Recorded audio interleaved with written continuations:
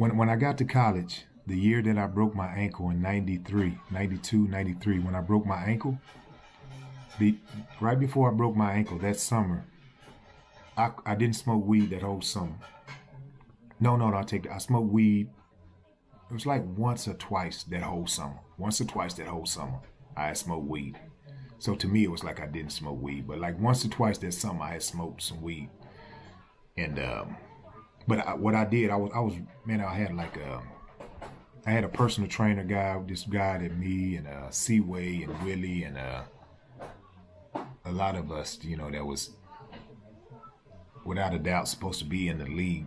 We trained with this trainer, you know, we ran like hills. I can't remember that famous park in California, but it's we ran uh ran these like hills, like mountain hills, and uh, we just trained that whole summer. And it's like uh just my intention was going to the league. You know, wasn't nothing gonna stop me from going to the league. I got up to like 215 pounds. I just felt real slow, but I had like three percent or six percent. I had like so three or six percent, something so low on body fat. It was just all muscle. And my intention was to go to the league. You know, to make million millions of dollars, just make that money and get to the league. So I pushed everything aside. Like I said, I smoked marijuana once or twice that whole summer, and uh, my whole I was just I was working out you know, just working out, getting it. And uh, I was telling God, I was like, God, you know, and that wasn't the first, it was times before in the past I had tried to quit smoking weed. And uh, I was telling God, like, you know, hey, you know, I've tried to quit, you know, and even though I've quit for a few months, I've always end up coming back smoking it, you know what I'm saying? And uh, so only you can stop me from smoking weed. I was, you know, like I say, he had that door of honesty and truth where I could see him and I was still defi- uh, still explaining my life and my situation. But I could still see that door open where he was allowing me to be honest and truthful. And honest and truth was like, you're the only one who can stop me from smoking weed, God. You haven't stopped me yet. You know what I'm saying? So you're the only one that can stop me. You know what I'm saying? Take the desire away. So at the end of the prayer, it was like, your will be done. If you want me to smoke, if you if it's okay to smoke, let me smoke. If it's not okay, only you can stop it. But at the end of it, it was your will be done. That was my prayer right there. That was it.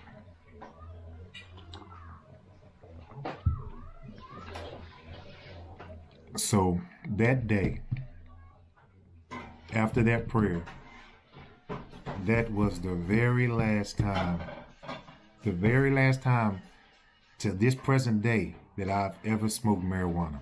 Ever, ever, ever, ever smoked marijuana. Now, it wasn't the very last time I had a desire for marijuana. I had a desire for the marijuana one more time after I said that prayer. And what I mean for a desire is that I wanted to smoke some weed after that one more time. The, the next time I wanted to smoke some weed, some marijuana, this time I wasn't hustling and nothing else, selling no, uh, you know, I wasn't hustling in prison no more after this. I was trying to get some money sent in to me. I thought I had a little bit of money left. And, uh,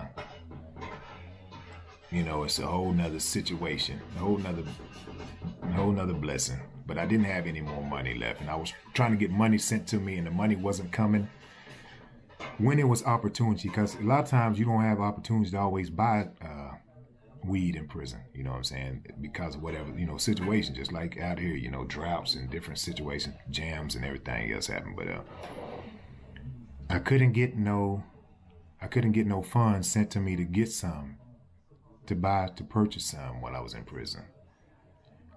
And that was that was the first situation. So that passed. And that was the only desire I had. Now my second it was three times. And now God told me, I would, another thing I didn't tell you guys.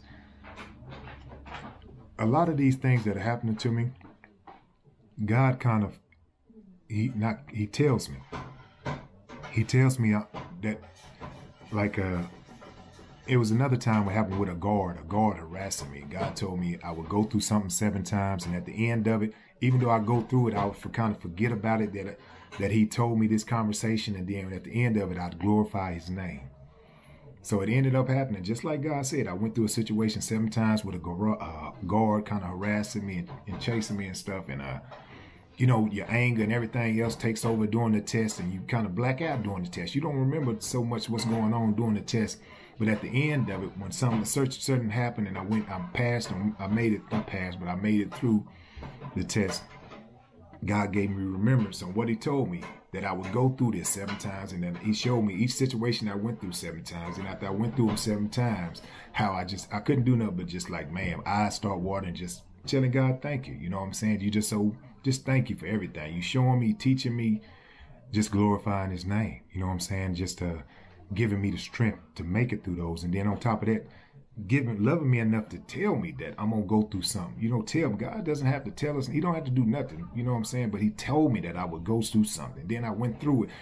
And then he gave me remembrance that I told you you was gonna go through this. And after you go through this, you was gonna glorify my name. Same thing happened. So the same thing like with this right here. He told me I was gonna go through this. You know what I'm saying? And uh I was going to go through three situations, and I went through the three, but it's different the way he kind of explained that. You know, my remembrance is not right on that right now. He's not giving me what he told me. But I, I went through it. My second situation was he had spoke to me. And then, like I say, anytime when, when God speaks to you and you hear him without a shadow of a doubt, man, it's amazing. It's like, it's just like, it's undescribable. It's just undescribable. You know, it's, it's the highest high, I can't describe it. The nothing can describe the, the, the amazingness of when God speaks to us, guys. When He speaks to us, man. When He speaks to you, and like prophecy, you know, He's telling you something, you know, dealing with life, Proph prophetic, you know, like this is what's going on, and it's so man, so amazing. So He had spoke to me, and then when He had spoke to me that day, I had one of my homeboys, Beaumont's. His name was Beaumont. He was from Beaumont, Texas and uh, give or take, how you call it. So he was from Beaumont, Texas, and uh, he came in there one day and said, "Hey, cuz man, we know you. We we in the homeboys. We know you. You know you you changed your life around, cuz, and uh, we know you. You know we're missing you. You ain't kicking with us no more. You don't hang out with us no more, cuz we missing you. But we just want to tell you, hey, cuz we still love you. We thinking about you, man. He came in there and threw some marijuana and some cigarettes, some cigarettes and marijuana all over my locker." and say, we know you don't you don't kick it with us no more, cuz. But he said hey, you do whatever you gonna do with this. You go sell it, you smoke it, you do whatever you gonna do with this, cuz. But it's yours, cuz. You know, we it's yours. And took off and ran out the door before I could give it back to him. And uh, so, like I said, I spoke to God. When you're in the presence of God, you know right and wrong. Period. Just period. You know right and wrong. We all know right and wrong. But once God speaks to you, and once you're in His presence, it's like without a shadow of doubt he shows you what's evil and what's not evil. So um, I hurry up and got that weed and flushed it down the toilet. All of it, just flushed it down the toilet. You know, I wasn't going to sell it. Of course, I wasn't going to sell it. And then I wasn't going to smoke it. God had just spoke to me. I didn't have no desire to, to infiltrate my body with nothing. You know, I, I didn't have no desire to get high none of that nonsense then. So I flushed the weed and then I got the, I kept the uh, cigarettes. All God's will. So I'm telling you, we don't understand God's ways. You don't understand God's. I kept the cigarettes, even though it's illegal to have cigarettes in the prison, and you ain't supposed to be, uh, because they didn't sell cigarettes no more at this point in time. They stopped selling cigarettes in like uh, 2003 or four. They barred cigarettes in federal prisons, and uh, but anyway, I had I kept I kept the, the cigarettes. Okay, so I got the cigarettes. I ain't smoked them or nothing else. So this is a uh, so now this is my third situation coming up. It comes in New Year's Day. So New Year's Days, I'm kind of like a, you know, New Year's in prison, you got holidays. It's kind of like a, you know, it's like, man, you trying to be festival and everything, man. But it's like, man, you, your family, you know, you ain't out there with your family. You ain't walking around free like that. You dig? So it's a whole, you know, you, you want to say depression but it's kind of like a little depression rises up on you, man, when you're in prison and you're on holidays. Holidays is a lot tough. It's it's tough on on, on it's real tough. You know what I'm saying? Even though you might have big cookouts in prisons, big kicking it, whatever to say, being in prison, man, it's tough on holidays. It makes it a lot worse because your mind goes from out of prison to like your family. Like, man, this is what we would have been doing. This is what they doing. Oh man, I'd have been right over there eating turkey. You know, I'd have been over there doing the same thing. This, that your mind goes different ways. So it's, it's a little rough on holidays. So on New Year's, I got the cigarette and I could hear God say, go ahead. I, I probably had even forgot about the cigarette or something, but I do remember God giving me the impression of go ahead, go ahead. So I got the cigarette and I lit the cigarette up. I took one puff of it. and I was like, wow. I took another puff of it. At that moment, I took that second puff. God took me from where I was right at right then to a point in time when I was a little kid living here in Wichita Falls, when my mama was smoking a cigarette in the car and had the windows rolled up, and I was in the car choking. The cigarette was literally choking me in the car. God took me back to that point in time. It was like I was right there again, right there again, choking. It's it's like undescribable to, to tell you how you know how he brought me back to that exact point in time. Something i had never thought about my whole life. You know i hadn't thought about that nothing. He had brought me right back to that point where i was in that car choking and as i'm choking he gives me remembrance he's talking to me telling me say this is why you don't you don't smoke. This is why you don't smoke. This stuff does not belong in inside of you. You know, like God calls us his temple. You know, we're a holy temple. It's where the Holy Spirit dwells. You know what I'm saying? What's good can't dwell in the presence of what's evil. It can't it cannot dwell in the same space. It can't dwell in the same space. God showed me and he explained to me like this is why you don't smoke. This is why you don't do drugs. This is why all this stuff doesn't belong in you. It's it's not natural. It's not right. That was the very last time I smoked a cigarette. And then, like I say, I hadn't smoked weed since I had said that prayer. And I'd asked God will to be done. So I hadn't smoked weed. And this is this this is not like a long period of time, guys. It's probably like a three or four months left of time since I said that prayer. You know, it wasn't like a long years, and it was like three or four months since I asked God His will be done till New Year's. So when I said the prayer, it just probably it couldn't have been no earlier than midsummer to after late summer that I had said that prayer to New Year's Day when I smoked that cigarette. And not only was that the last time that I smoked a cigarette, it was the last time that I drank alcohol. Now, alcohol was like an extra added thing onto it. I hadn't drank no hooch since I said that prayer. We called it hooch in prison. I hadn't drank no hooch. And then it, it's also real gin and everything else come in prison too now. They, they have real drink too, but make, you know, you make hooch or whatever. I hadn't drank no real gin, no real nothing hooch. I hadn't drank. I hadn't drank since I said that prayer, and not drinking wasn't even part of my mind. Like I said, I, I, weed was my thing. Smoking weed was my thing. So my mind always focused on intentionally getting high, smoking some weed. But I hadn't drank, and it was never just really played into my mind and my thoughts that I hadn't been drinking since I said that prayer. All I know was, you know what I'm saying, I had three situations where I, God was showing me about smoking. You know what I'm saying? And I was put in them three situations by smoking. But while I'm in them three situations by smoking, I ain't drank nothing in that time neither. So at the end of it, that day when I smoked that New Year's, when I smoked that last cigarette, was the last time that I had anything in my body that don't go in my body physically now. I've had thoughts and everything else that God's works on and has corrected me on. And, you know, the spirit is a spiritual battle, it's a real battle. But physically, that was the last time that I've ever smoked. Last time I've ever smoked, the last time I've ever drank alcohol. Now, in saying all that, just to let you know, it's not me. I don't. I've never had a desire to smoke. I've never had a desire to drink alcohol. When when I first got home, I can't remember. I was asking my wife the other day when she came. When my sister had threw a party, when I first came home, my sister gave me a party, and then she also gave a party when my wife first came here to America.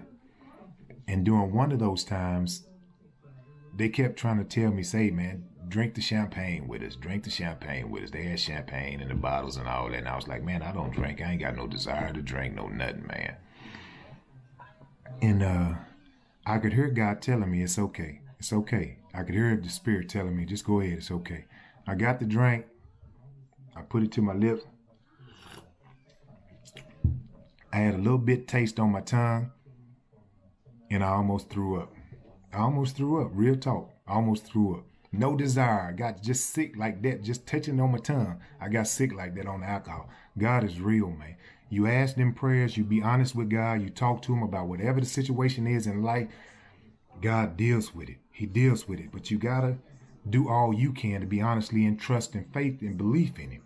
You know what I'm saying? I remember like when I was first having things, I could hear God telling me believe and trust and do this and do that. I could hear these words talking to me all the time in the Bible. I got to the point to tell God, like, I am believing, ain't I? I am. Like when my mama had cancer, my mama was dying. And I kept like, you know, God, I won't bring my don't don't let my mama die. Heal the cancer from my mama. You know what I'm saying? Let me out of prison so I can go be with my mama. You know, let me go out there and change my life. Let me be out there with my mama. You know what I'm saying? Don't don't don't let me lose my mama. Same with my Uncle Victor. Same thing when I first got in prison. He had cancer and was dying. Uncle Victor, that was my man, man man, like that, that was that was my mate right there, my running mate, man. And um, I can remember just praying, like I'm still new to the Bible. I'm still asking, you shall receive, seeking, you shall find, knocking, the door shall be open. I'm still new to it. So I'm knocking, but I'm knocking, you know, I'm knocking on the wrong doors. You know what I'm saying? Like God teaches us when you put in the right petition, you have to put in the right petitions. The right petitions are the petitions that go in with God's will, what's God's desire for our lives.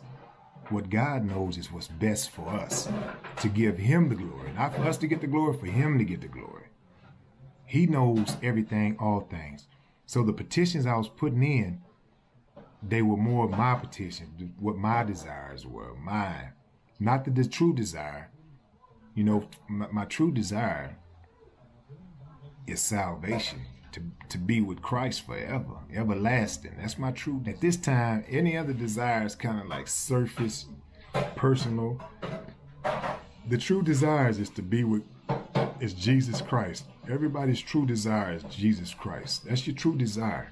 Nothing else but to hear God speak with you, to walk with God, to be with God, to be in His presence. That's our true desires. Everything else is superficial, pretty much. You know, to me, I believe in but Jesus Christ is our true. Once you know Him, you find out who He is. Man, it's it's not it's, it's Jesus. It's nothing else. It's Jesus. You know, and uh, so I don't know how I got on that. I was telling you about uh, uh but anyway, that was the last time I spoke. And uh, what I was trying to say is, man, it's, it's just when we when we go to God with all we have, all honesty. If, if you don't believe God is real, if you don't believe Jesus is real, you know, I got some homeboys, friends, whatever you call them growing up. Some of them talk about Buddha, Muslim, Islam. I don't know how I go. But uh, I got some friends, you know, and, uh, you know, man, I hate to say it, not really hate to say it, but I know it's not. I like I even had some friends call themselves like God, you know, say call themselves God, describe because I guess the teaching tells them that they're gods, you know, and like even in prison, when I was in prison before,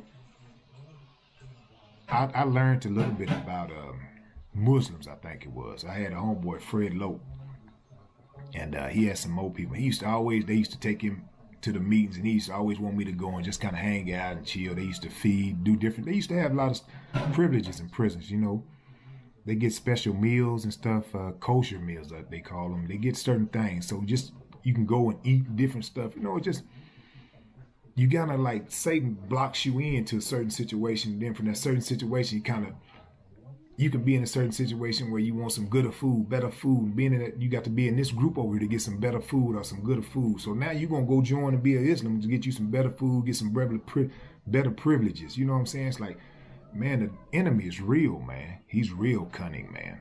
He's the deceiver. God is not called the deceiver. He's called the deceiver. So if he's the deceiver, think about it. If he's the deceiver, all deceit to every maximum level, to every depth, not no maximum level, to every depth of deceit, that's who he is. he's deceiving. To every depth, he's deceiving. So, um, what I was just saying, just being honest, we be when we be honest with God, you know, he he, he answers us, and he, he opens up the door to a more deeper meaning, a more depth of the truth. You know what I'm saying? We give him the truth as best we know it. We don't know the truth on truth on being truth because we we not we're not God. We not, God is the truth. You know, Jesus is the truth. He's righteousness. We're not righteousness. God is. So when we do all we can and we keep beating on that door with all honesty that we have, all the honesty and all the truth and all all we are, we beat on that door. He'll open it for us. And when he open it for us, it's it's it's it's, it's painful sometimes. You know, it's, it's painful. Real talk. It's it's painful. Like you know, even my mom was dying, my Uncle Victor was dying when they was passing away. When they was passing away, it was like, man, he was showing me how rotten I was. You know what I'm saying? And even you know what I'm saying, my mama died, she's still smoking cigarettes and stuff like that, worrying about me. You know, it's, it's painful. It's it's real painful when you when you when you when you knocking on that door, man. it's painful when he opens it. When he opens it, because now you see the truth on everything. But it's mercy. His mercy. His mercy covers us, guys. His mercy covers. And then after he covers us with that mercy, he gives us that grace. And with that grace is coming that joy like, man, this is my second chance. This is my new day. It's not the same old yesterday. This is my new day. You know, a day I get to go and do what's right. I can take some, some righteous steps today. You know what I'm saying? And um, I'm gonna leave it at there. This went on a little longer than what I expected, looking like 45 minutes. I ain't sure if that's right. But um, that's it. Till later on again, everybody. This is day of rest here. My wife got to smell super excellent in here. She been getting down over there. Goño! You got that fancy dress on. She got that fancy dress on too, y'all. Goodness gracious. Bye bye. This is it.